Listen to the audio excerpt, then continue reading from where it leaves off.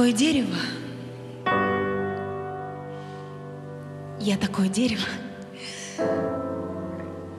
Я такое дерево. Такое дерево. Ты хочешь, чтобы я была как ель,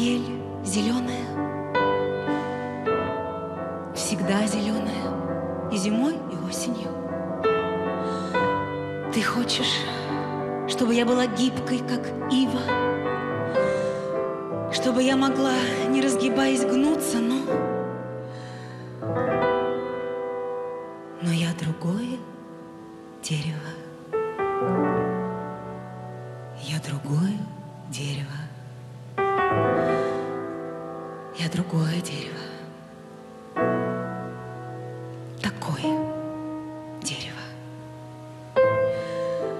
Если рубанком содрать со ствола кожу, распилить его, высушить, а потом покрасить, может подняться мачта океанского корабля. Могут родиться красная скрипка, копье, крыша или белая палуба. А я не хочу, чтобы с меня сдирали кожу. Я не хочу, чтобы меня пилили, сушили или красили. Нет, я этого не хочу.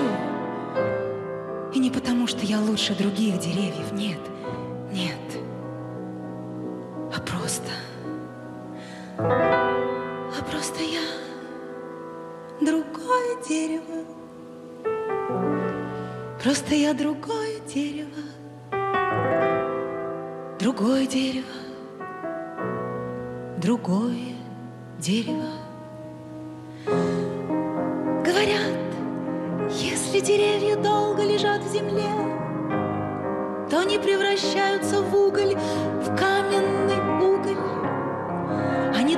Горят, не сгорая,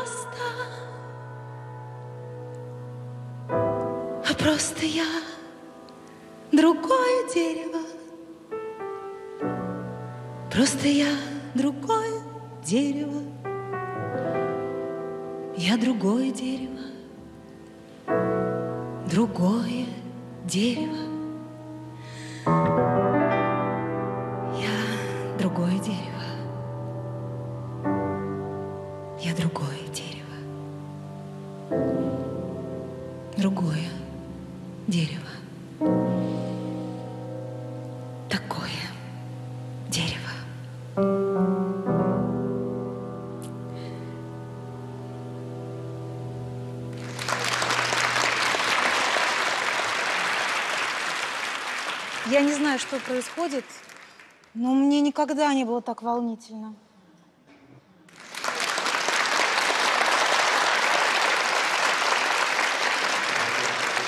Вы знаете, вот в такие минуты понимаешь, как надо много иметь мужества, чтобы быть собой, как ни странно. Потому что легче говорить чужими словами, сделав их своими. Я не знаю, понятно я говорю или нет. А вот говорить от себя сложно. Быть собой сложнее. Но, но я попробую.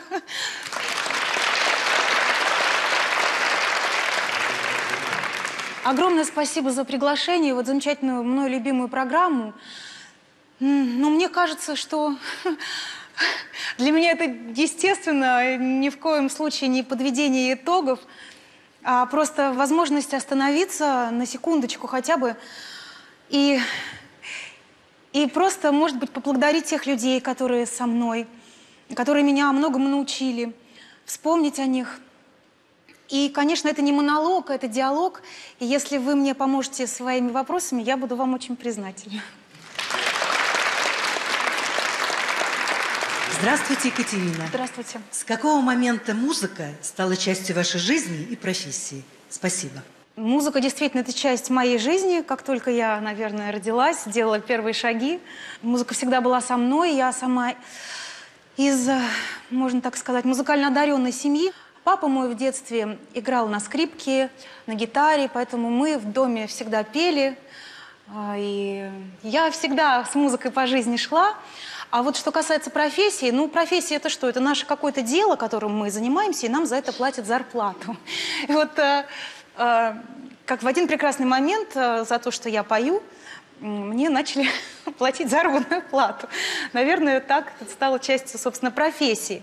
И тогда я уже, конечно, по-другому стала относиться к тому, что я делаю в музыке, более ответственно.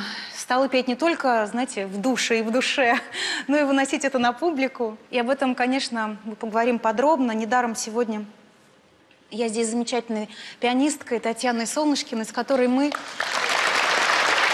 уже много лет рука об руку под музыку идем. Мы познакомились в Щукинском училище, а затем в театре Моссовета, где Татьяна работала, до этого в прекрасном легендарном мюзикле «Нордост».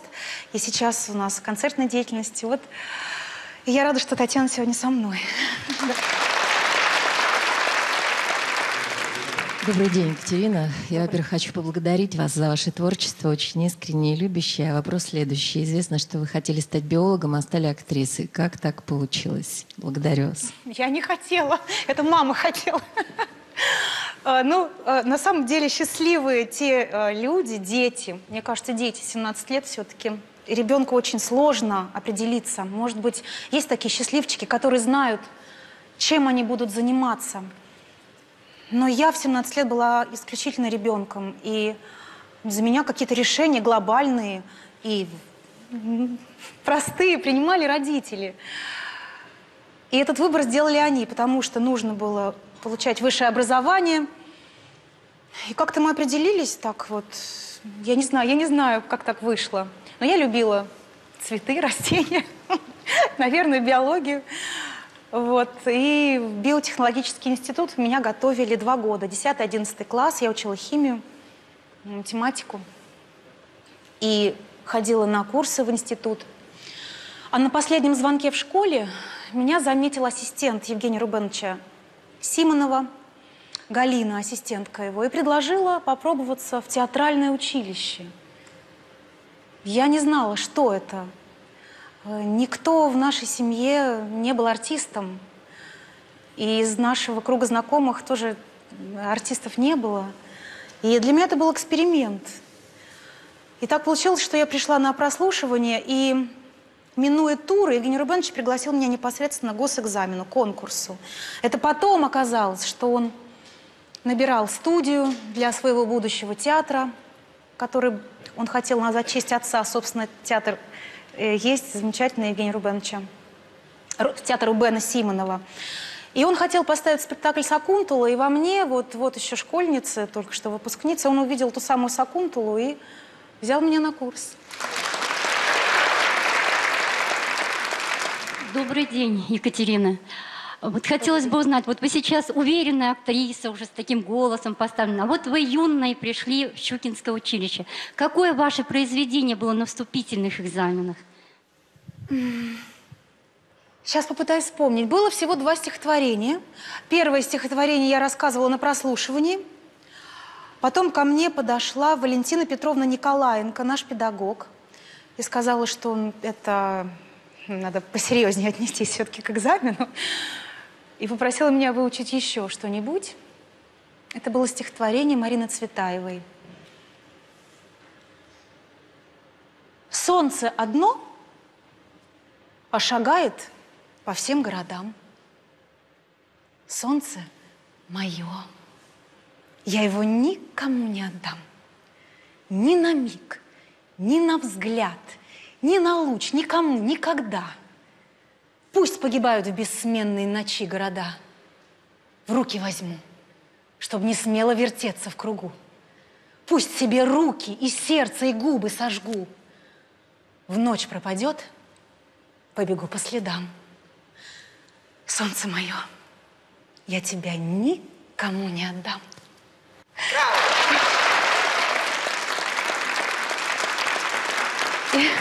так получилось, что вдруг я оказалась, как бы вам объяснить,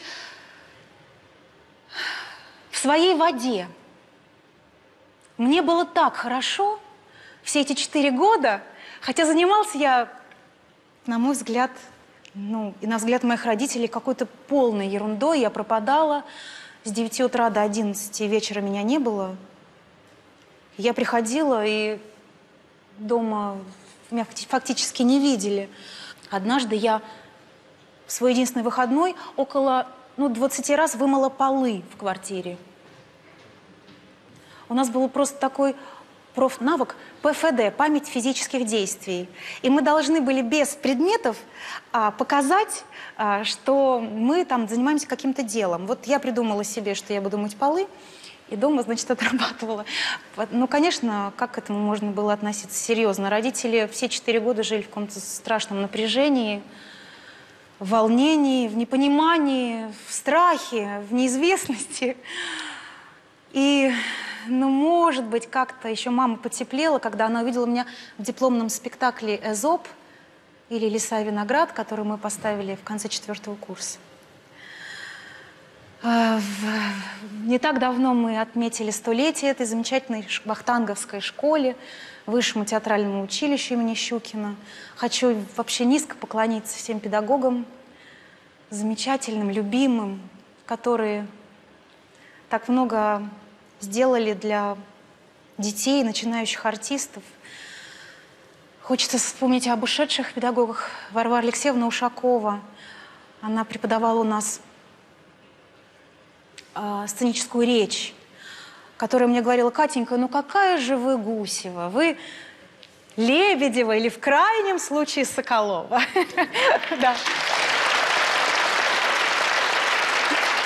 И когда э, мы выбирали отрывки для чтения на экзамен, я говорила, Варвара Алексеевна, а можно я прочту сон Татьяны? Нет, нет, нет, Катя, Господь с вами. Это читала Мансурова. Я говорю, ну можно тогда я прочту стихотворение Ахматовой? Нет, нет, нет, нет, это гениально читала а, Юлечка Рудберг. И так мы очень долго выбирали репертуар. Вот. Э, замечательная была женщина, она жила только нами. Паламишев, режиссер, который поставил спектакль «Последние», который очень многому нас научил. И мы выиграли гран-при в Брно. Есть такой э, фестиваль студенческих спектаклей. И вот тогда щукинцы, выпускники, вот уже, да, взяли гран-при. Я помню, как Александра Семчева, который играл главную роль, такой достаточно во всех смыслах крупный артист, на руках подбрасывали. Представляете? Я никогда это не забуду. Я стояла рядом и плакала, потому что я играла бабушку, и меня никто не узнавал. Я играла няньку э, в этом спектакле с характерностью острой. И, в общем, в общем, так это был не мой праздник в тот день, но я радовалась за, конечно, за наш спектакль, за нас, и какая-то вера появилась в то, что, может быть, мы что-то получится и дальше.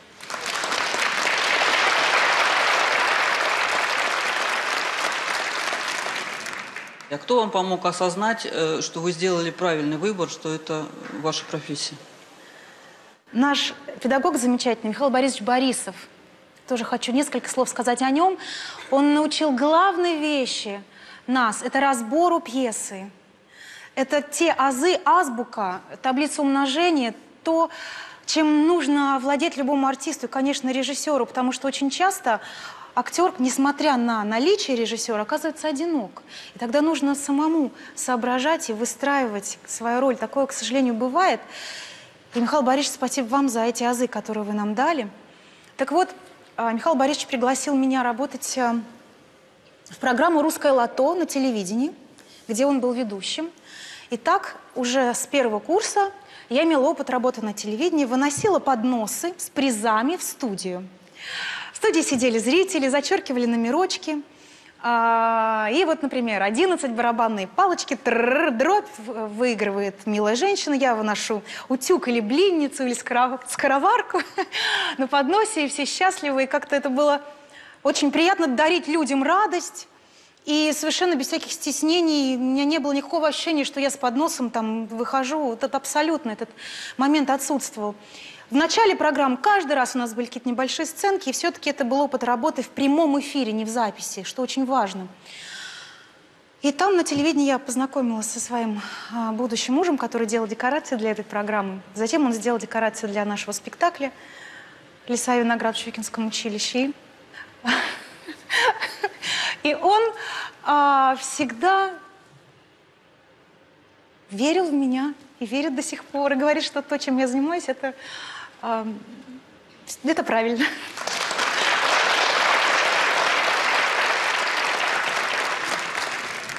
Здравствуйте, Екатерина. Здравствуйте. Расскажите, пожалуйста, о своей работе в театре Марка Розовского. Вы туда попали сразу после училища? Спасибо. У нас был показ в театр. а, И так сложилось, что Марк Розовский искал молодую героиню. Надо сказать, что в театре у Никитских ворот огромный репертуар. В сезон выходят э, две, а то и три премьеры. И вот представляете, 31 день в месяц, и ни один спектакль не повторяется. 31 название в афише. И я прекрасно помню, он искал молодую героиню, которая смогла бы войти в репертуар. Он сидел в своем кабинете, перед столом за его спиной висела афиша. Я зашла, он говорит, ну садись, я села. Была пауза, он меня долго смотрел, я на него. И он говорит, выбирай. И обернулся, собственно, на афишу с названиями спектаклей. Говорит, выбирай. Представляете? Я стала читать по порядку. И так робко сказала, бедная Лиза. Он говорит, хорошо, дальше. Я говорю, Обломов, отлично, еще. Я не шучу. Это невероятно. Это невероятно. Я сыграла Ольгу Ильинскую в спектакле «Романсы с Обломовым», Сонечку Мармеладову в спектакле «Убивец», бедную Лизу в «Бедной Лизе Карамзина», а, в «Утиной охоте» Татьяну. А, Конечно, а, Наф-Нафа в «Трех поросятах». И у меня вот этот год с небольшим, два, наверное, да, два сезона я проработала в театре. Я выходила на сцену очень часто. Первая моя роль была, я сыграла няньку Варьку в рассказе «Спать хочется» спектакле «Доктор Чехов». А, с Ольгой Лебедевой, с моей партнершей замечательной. В общем, это были воды, и, и мне не приходилось эти ждать роли. И я, меня бросили как котенка в кипяток. И театр небольшой, театр студийный. Зал был а, в коммунальной квартире. Это некогда была коммунальная квартира, которая переоборудована была в театр. То есть вот здесь вот была правая кулиса, здесь левая. Вот, а, я стояла на авансцене, вот сейчас до первого ряда пространства, да, у нас, а зрители в зале Марка Розовского сидели непосредственно очень близко, и коленки прям упирались в авансцену. Вот я видела так вельветовые штаны, джинсы, значит, что-то, юбочка какая-то. То есть вот прям на носу я слышала дыхание зрителя, и всхлипывание, и смех. И, конечно, вот эта небольшая камерная площадка, она учила нас быть честными, правдивыми, не делать вид, не обманывать, а все-таки попытаться действительно прожить ту жизнь, которая тебе предложена, и не обмануть ни себя, ни зрителя.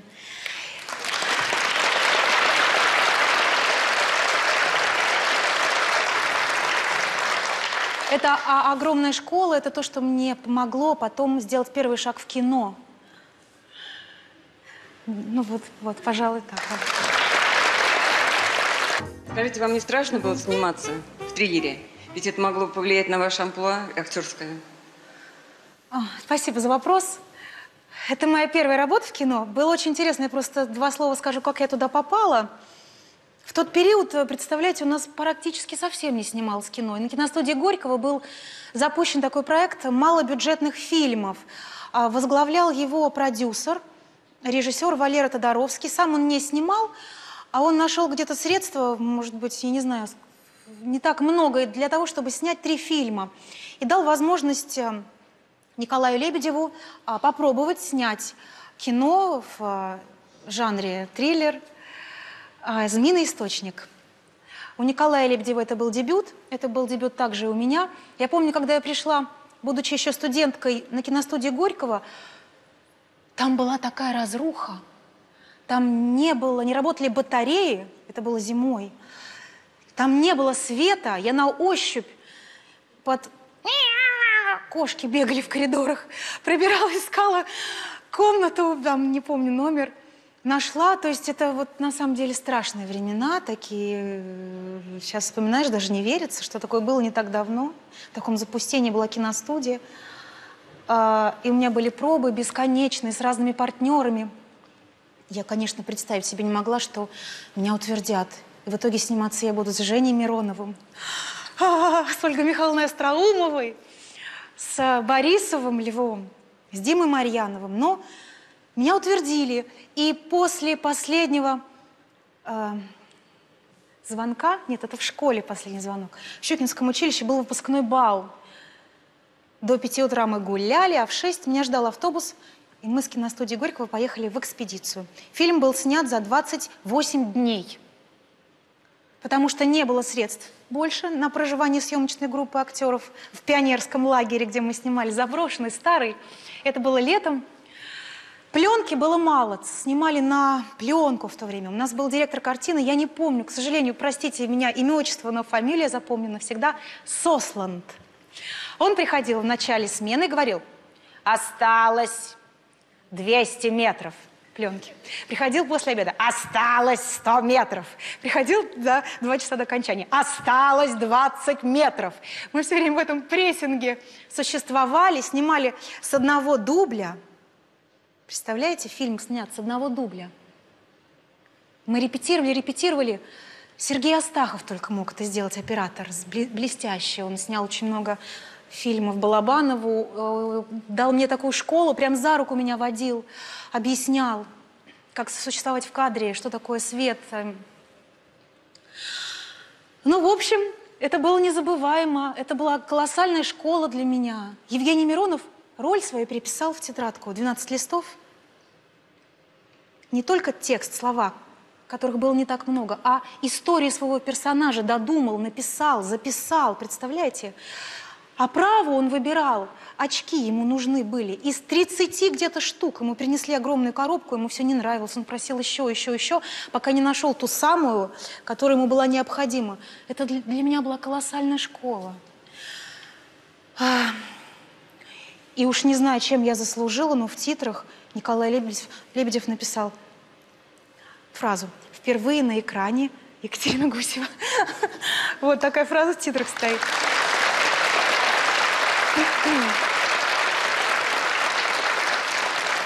Сейчас, сейчас, я не ответила на ваш вопрос. Я еще не знала, каким будет мое амплуа.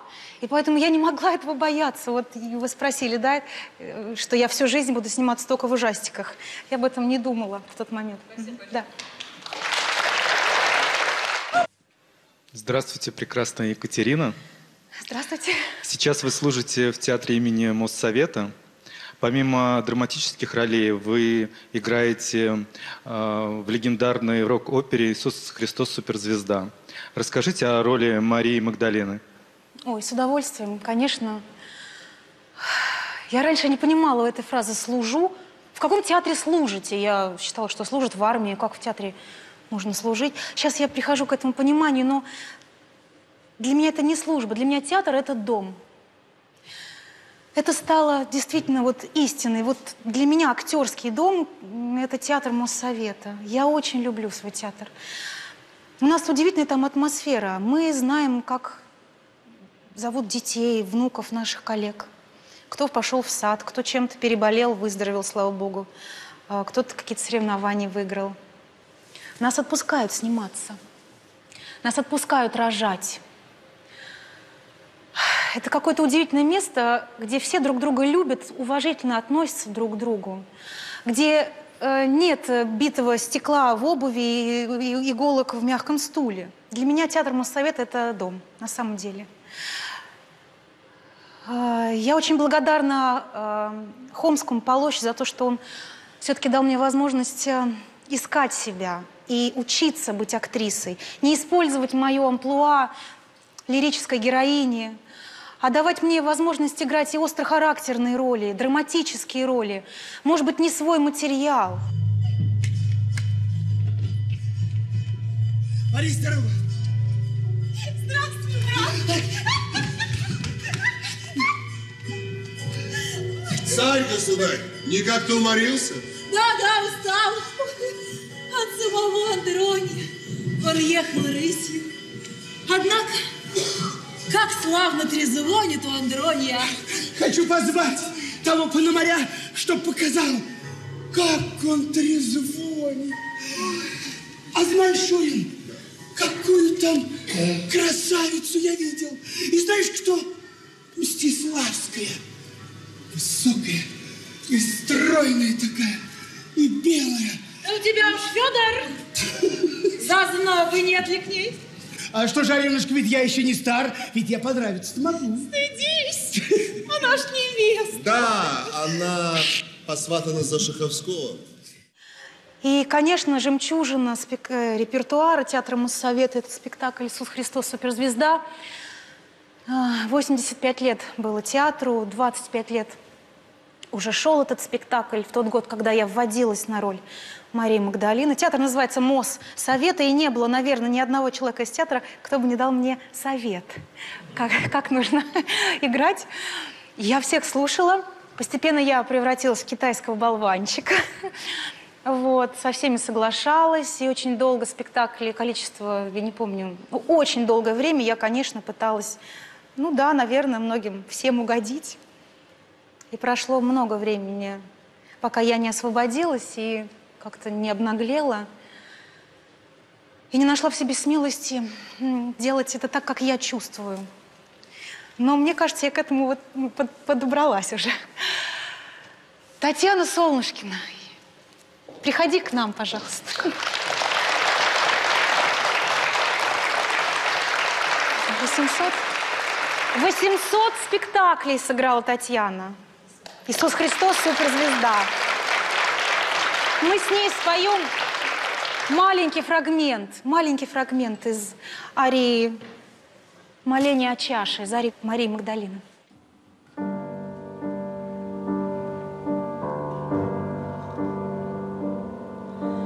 Я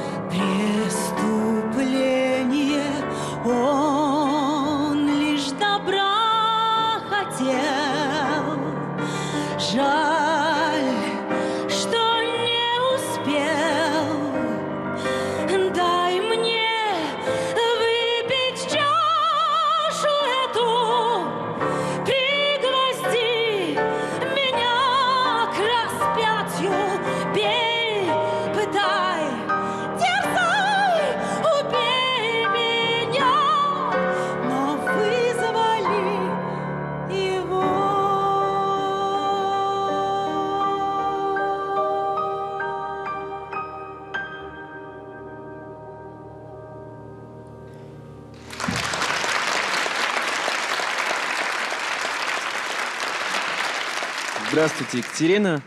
А, Расскажите, пожалуйста, о своих партнерах, с которыми вы играли, и пытались ли они за вами ухаживать. Большое спасибо. Мне повезло в этом смысле, потому что... Потому что для меня партнер — это все. Меня вот почему мне еще так тяжело ах, вести как, какой-то монолог.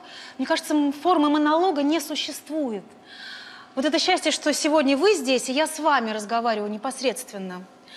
Партнер всегда нужен. Даже если в спектакле есть форма монолога, то я, ну я не знаю, я с Богом говорю, с, с чем угодно, с кем угодно. А, но а, и если хоть что-нибудь удается, то только благодаря партнеру, который рядом. Я в этом убеждаюсь каждый раз. И я очень благодарна замечательным действительно партнерам, И Виктору Ивановичу Сухорукову, и Саше Домогарову, и Косте Хабенскому, и Жене Миронову, и Сереже Безрукову, Егору Бероеву. Ой, я так сейчас боюсь кого-то обидеть, кого-то не назвать. Вла- Владимир Ильин, Игорь Петренко, Георгий Георгиевич Тараторкин. Прекрасные, прекрасные партнеры, в которых можно вот просто вот раствориться и умереть. И знаете, ну, конечно, не секрет. Это всем известно, многие читали что-то там, или какие-то слухи ходили после очередной какой-то работы, какого-то крепкого дуэта, когда все-таки удается обмануть. Кино – это иллюзия. И если а, друг пишет про какие-то романы, вы знаете, если честно, мне это не оскорбляет и не обижает. По одной простой причине – это значит, что мы хорошо сыграли, что нам поверили, что нам удалось обмануть. Ну, это не плохое слово, это, но это так действительно. И сыграть любовь, любовь это очень сложно, очень сложно. Наверное, невозможно. Но, но если она в тебе живет, то можно, ну, можно приоткрыть эти створки и поделиться ею. Вот это тоже очень помогает. Вот, вот, вот, я ответила на ваш вопрос. Я счастлива, что у меня судьба так сложилась, что вот удалось э, поработать, сняться у замечательного режиссера, у легенды э, советского, российского кино, у Станислава Говорухина. Конечно, сам факт для меня очень-очень важен. Сыграла я там э, такую странную женщину, ревнивую, которая очень переживает. В каждом кадре я проливала горькие слезы, э, следила за мужем, за каждым его шагом. Э, в общем, не отпускала его ни на миг. Мне нужно было знать, где он, с кем. Э, Максим Матвеев сыграл эту роль. В общем, такая женщина, которая, мне кажется, его и погубила. В общем-то, если честно. Я к ней, наверное, относилась с такой, с легкой иронией к этому персонажу и попыталась эту иронию как-то проявить и в картине тоже. В общем, а, поначалу, может быть, конечно, я и сопереживала, но, но она смешна в своих каких-то подозрениях, но главное не в этом, и это не важно. И это не важно было, когда раздался звонок от Станислава Сергеевича, какую роль мне предложено сыграть, что за сценарий. Просто сам факт, что у меня появилась возможность поработать с ним, она определила все.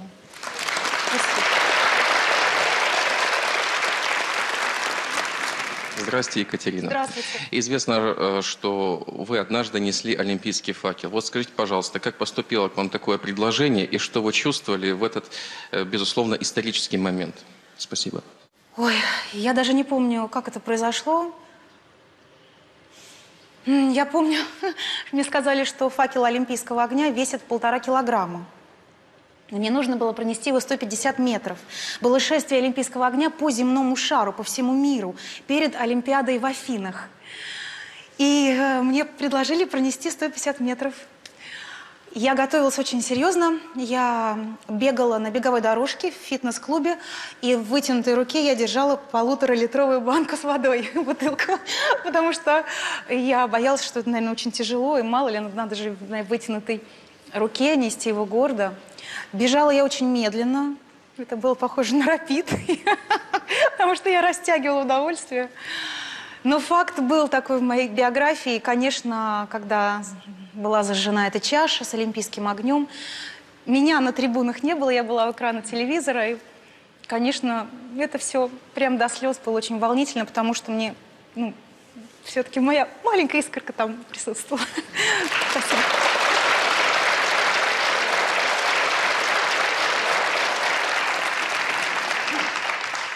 Здравствуйте, Екатерина. Здравствуйте, Валентин.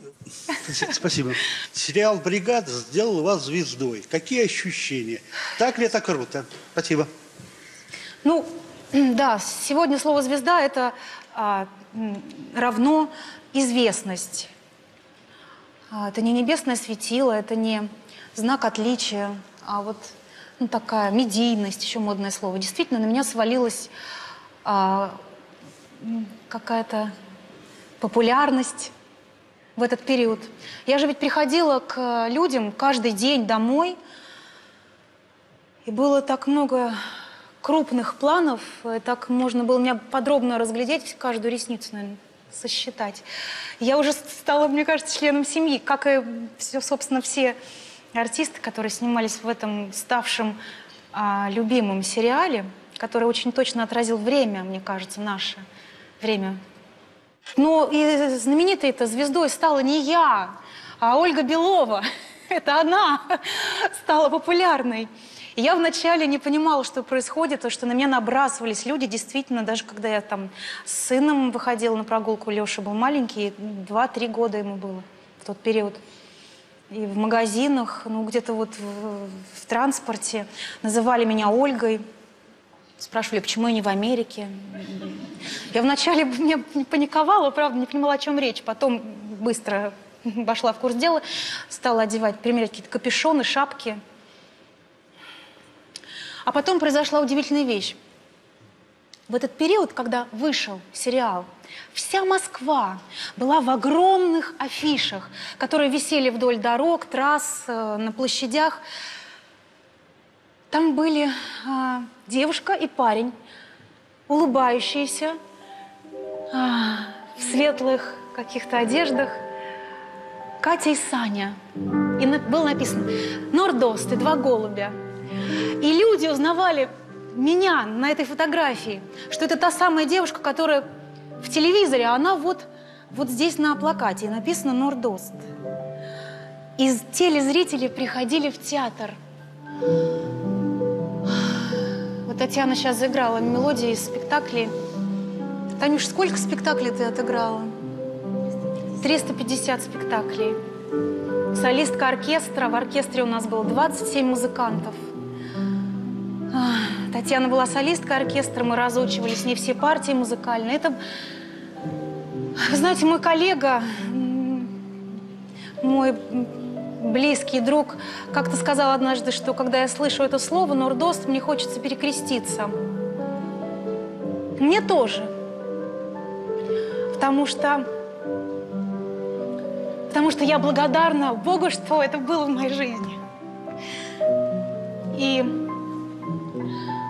и для меня это, конечно, это страшное событие, трагедия, безусловно, но мне не хочется об этом сейчас говорить. Я просто хочу сказать э, Царствие Небесное, вечная память тем, кого нет с нами сегодня, и многие лета крепкого здоровья тем, кто с нами.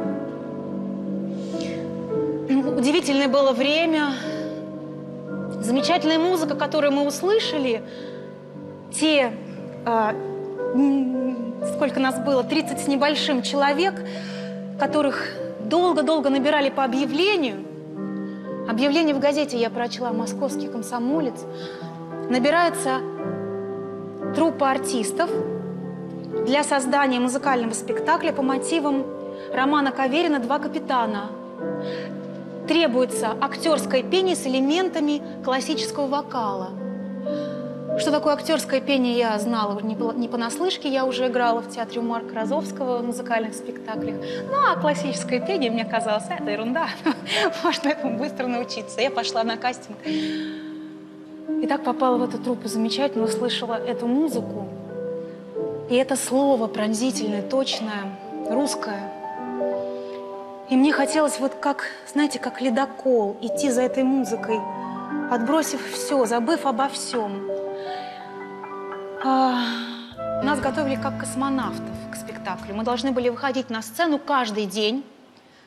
На протяжении, ну, ну мы планировали много лет играть. Как это? Как это возможно, не знал никто. Только на Бродвее, наверное, знали, и в Лондоне на Вест-Энде, куда нас привезли продюсеры Васильев и Иващенко. Они же и авторы слов и музыки, они же и режиссеры-постановщики этого спектакля. И мы побывали в Лондоне, жили в общежитии, были там два дня, посмотрели «Отверженный мизерабль» и «Призрак оперы». Кто, кому-то это придало, придало силы, и меня это прибило к земле. Я подумала, нет, наверное, дорожать детей, вязать, э, шить, готовить. Но я, наверное, на месяц выключилась. Я боялась рот открыть. Я не представляла, как этому можно научиться. Но постепенно мы тренировались, занимались. Дыханием в первую очередь. Представляете, степ на лыжах, и при этом вокал, и при этом дыхание не сбивалось. Это определенная техника, которую нужно было освоить. Это ария Кати, которая около четырех минут длится, 27 музыкантов в оркестре, Арарамыч Карапетян, э, заслуженный деятель искусств, прекрасный дирижер. И актриса, э, да, которая не знает нот, которая партию выучила по слуху, но в которую почему-то поверили. Вот в меня поверили и Ващенко, и Васильев. Все крутили у виска. Я боялась их подвести. Я думала, я вот расшибусь в лепешку, но я не могу допустить, чтобы им было стыдно и неловко за меня. Вот я занималась вокалом тогда каждый день, два раза в день, утром и вечером. И мне вот, я не знаю, небо подарило мою Юлю Рассудову, колоратурная сопрано, сама выпускница консерватории, которая как птица поет, у которой голос смыкается до края, края клавиатуры, но она умеет научить. Я по сей день с ней занимаюсь вокалом. Вот и тогда каждый день, два раза в день, до премьеры три месяца, и рассказ Иващенко про майского жука, который не может летать, потому что размах крыльев маленький по сравнению с, с размером его тела и с его весом. Он не может залететь, однако он летит. И я все время вот с, с этой с этим жила и верила в то, что, ну, может быть, получится. Может быть, получится. Самолет натуральную величину, на сцене пол из оргстекла белого, который разрезан на такие, как, как бы сказать, пазлы. И в конце спектакля он вздымается, как, как торосы, как льдины, трещит, дрожит и складывается в нос корабля «Святая Мария» ледяного. А, поездка на Северный полюс удивительная, когда Артур Челенгаров несколько раз был на нашем спектакле. Он сам полярник, был неоднократно на Северном, на Южном, возил экспедиции, пригласил нас на Северный полюс. Мы полетели, Васильев Иващенко, Андрей Богданов и я, и пели тогда в минус 47 занесены в Книгу рекордов России за пение на морозе. Но ну, там душа пела, это что-то было тоже невообразимое. Когда солнце не заходило, вращалось, было три дня. Мы там были на Северном полюсе, в надувных модулях жили, где было плюс 22, на улице минус 47. На молнию застегивалась дверь, на молнию застегивались окна, чтобы как-то создать иллюзию ночи соленый чай из льдин. Такой вот солоноватый вкус имеет. Сертификат полярника нам всем выдали. Взлетная полоса, которую полярники, летчики расчищали непосредственно на льдине. Туда приземлялся самолет. Там был разбит лагерь на этой такой вот огромной льдине. А потом уже на вертолете специальным прибором определяли, где же эта точка, потому что льды дрейфуют, она меняется. Мы туда прибыли, водрузили флаг – бороться, искать, найти, не сдаваться. И привезли каждому кусочек Северного полюса. Мы взяли снег, куски э, такого замерзшего снега, вертолетом перевезли их, значит, в наш лагерь, там занесли в палатку, в какой-то тазу неком. Этот при плюс 22 снег растаял, мы перелили его в пластиковые крупные бутылки, привезли домой – разлили по вот таким вот мензурочкам, подписали, значит, Северный полюс и подарили, ну, если не всем, ну, по крайней мере, всем артистам мюзикла. Кусочек Северного полюса. Вы представляете, сегодня в зале среди вас есть люди, которые были на спектакле. Василий Андреевич, сколько вы раз посмотрели мюзикл? 47 раз, Василий Андреевич. Спасибо, что вы здесь сегодня. Как бы там ни было, пусть пройдет сто лет, но я очень хочу, чтобы этот спектакль жил, чтобы его все-таки восстановили, потому что это действительно культурное событие в музыкальном театре нашей страны. Не потому что семь номинаций на «Золотую маску», а потому что это, ну это правда так. Когда сидишь в зале и испытываешь гордость за свою страну, за то, что у нас такие мужчины сильные, за то, что у нас такие женщины, которые умеют любить, верить, ждать, за то, что нам есть чем гордиться – и удивительные чувства. Я никогда больше этих чувств не испытывала ни на одном спектакле. В театре никогда. И я уверена, что спектакль будет жить.